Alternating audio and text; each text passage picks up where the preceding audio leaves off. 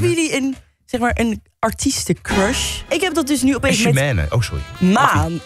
Maan, Wat met Maan? Ja, ik zat er helemaal Echt? inzet Dat ik oh, eigenlijk, ja, kan ik echt jaloers op zijn. Maar was te, te lief, denk ik. Want ik, ik vond het toen... Hij had ze niet een keer een stripper bij haar neergezet. Bij Giel oh, Belen of zo. Daar mag je nooit meer over praten. Oké, oké. Ja, weet je, dan, dan, ja, ah, ja, ik vond het zielig dat ze begon te huilen. Maar ik was ook zoiets van... Oké, dat is geen, niet, geen type voor mij. Ja, was ook wel smakeloze radio, maar dat, dat, dat- ben daar ben nou, jij bekend mee.